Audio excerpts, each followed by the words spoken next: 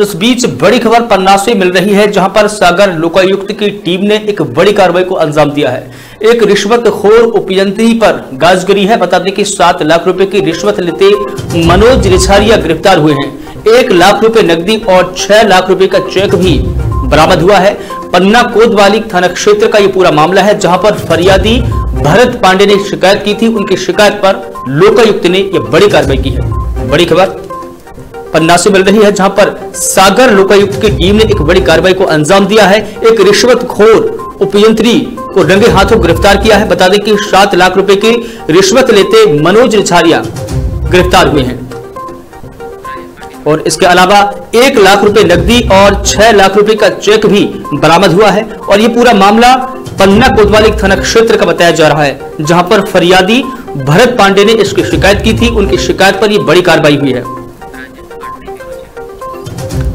और इस खबर पर अधिक जानकारी देंगे हमारे पन्ना से ब्यूरो चीफ राजेश पांडे जी हमारे साथ में जुड़ गए हैं। राजेश जी जिस प्रकार से कार्रवाई हुई है सात लाख रुपए की जो रिश्वतखोरी थी और जो रिश्वतखोर उपयंत्री है उनको गिरफ़्तार कर लिया गया है। इस खबर को लेकर क्या कुछ अपडेट है?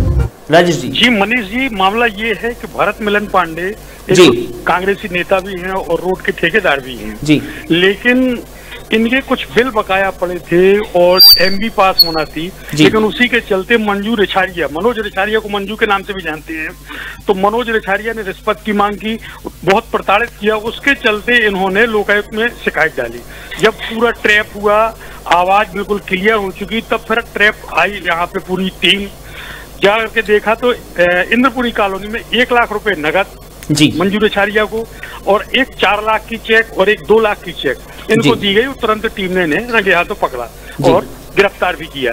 इनके एक ही जगह पन्ना ज़िले में ये कई वर्षों से जी। जमे हुए हैं और इनका ये खेल चलता बहुत पुराना जी। है आज रंगे हाथों पकड़े गए हैं। देखिए अब क्या होता है आगे। जी बिल्कुल। लेकिन जिस प्रकार से पूरी कार्रवाई हुई है लोकायुक्त ने उन्हें गिरफ़्तार कर लिया है। आगे की क्या कार्रवाई रहेगी क्या प्रोसेसिंग रहेगी और किस तरीके से पूछताछ की जा रही है और कितने मामले उन पर फ़िलहाल निकले हैं? भरत जी। इन इनके ऊपर कई मामले निकलेंगे। जी।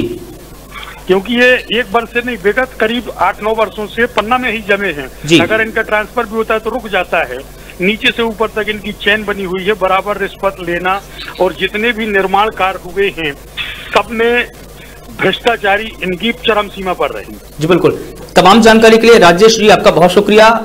पल पल की अपडेट हमारे दर्शकों तक देते रहिएगा। तो बड़ी खबर पन्ना से मिल रही है, जहाँ पर सागर लोकायुक्त ने एक बड़ी कार्रवाई की है। रिश्वत खोर उपयंत्री पर गाजगिरी है। सात लाख रुपए की रिश्वत के हाथ मनोज रिछारिया को गिरफ़्तार किया गया है। एक लाख रुपए नकदी और छह लाख रुपए का चेक भी उनके पास से बरामद हुआ है और ये पूरा मामला पन्ना कोतवाली थाना क्षेत्र का बताया जा रहा है।